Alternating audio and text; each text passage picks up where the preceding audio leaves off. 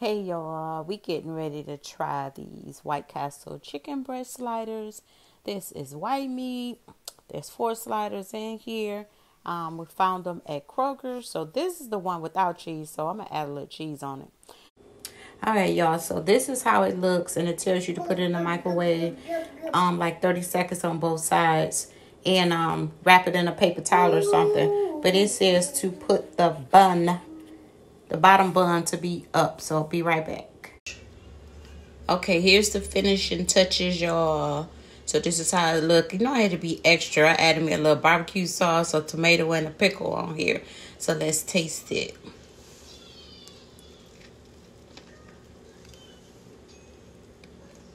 Look at that. You can see the white meat in there. This tastes good if you love White Castles. Get you some. Found them at Kroger's. Bye, y'all.